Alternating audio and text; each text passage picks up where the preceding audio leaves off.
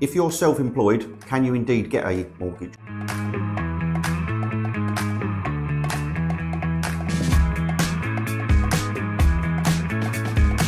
Yes, you can. Again, going back to previous posts, various lenders will require different documentation if you're self-employed. This will be driven by how you're set up. Are you a limited company? Are you a sole trader? Are you a partnership? The best thing you can do to prepare for an appointment with your mortgage advisor is get as much documentation together. So if you're a limited company, get your last three years company accounts, get your tax computations with the corresponding tax year overviews, and at least three months business bank statements.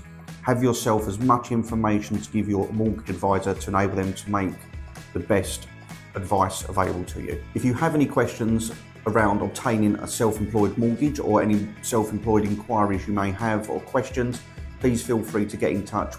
Also, please follow Keystone's YouTube channel. Thank you.